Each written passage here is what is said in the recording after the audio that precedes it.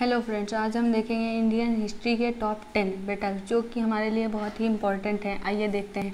पहला है battle of Kurukshetra Kurukshetra का युद्ध, जो कि हरियाणा के कुरुक्षेत्र मैदान में दसवीं शताब्दी में पांडवों और कौरवों के मध्य लड़ा गया, जिसमें पांडवों ने कौरवों पर विजय प्राप्त की।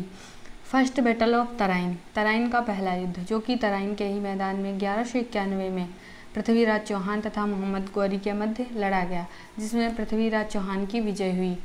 Second battle of Tarain Tarain का दूसरा युद्ध, जो कि तराइन के मैदान में ग्यारह में पृथ्वीराज चौहान तथा मोहम्मद गौरी के ही मध्य लड़ा गया, जिसमें मोहम्मद गौरी ने कठिन परिश्रम से विजय प्राप्त कर ली।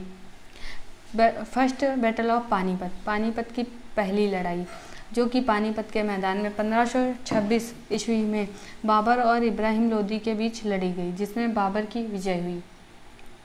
Second battle of Panipat Panipat की दूसरी लड़ाई, जो कि पानीपत के ही मैदान में पंद्रह सौ छप्पन ईस्वी में अकबर और हेमू के बीच लड़ी गई जिसमें अकबर की विजय हुई। Third battle of Panipat Panipat की तीसरी लड़ाई, जो कि पानीपत के मैदान में सत्रह सौ इकसठ ईस्वी में अहमद शाह अब्दाली और मराठों के बीच लड़ी गई, जिसमें अहमद शाह अब्दाली की विजय हुई। बैटल ऑफ़ चौंशा चौंशा का युद्ध. जो कि चौशल मैदान में, पंद्रह सौ ईस्वी में शेर शाह सूरी और हिमायू के बीच हुई, जिसमें शेर शाह सूरी की विजय हुई। बैटल ऑफ़ प्लासी प्लासी का युद्ध जो कि सत्रह सौ सत्तावन ईस्वी में प्लासी के ही मैदान में सिराजुद्दौला और रॉबर्ट क्लाइव के मध्य हुई, जिसमें रॉबर्ट क्लाइव की जीत हुई।